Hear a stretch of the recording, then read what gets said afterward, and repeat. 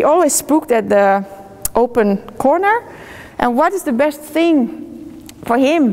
You need to do counter conditioning. So whenever it's new, for example, you are a bit new here, so let's see. Let's see if you, you guys come over here and you are a bit the strange things and the chairs and the stuff like that, but the reward is here.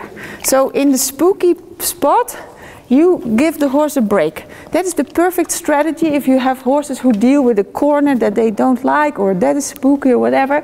You make what they think is the most horrible place in the riding arena, you make it the favorite spot because that's the spot where the release reward relaxes. And then you can do the counter conditioning because they think it's the most horrible spot and you do the opposite. And then they, they start to love the spot.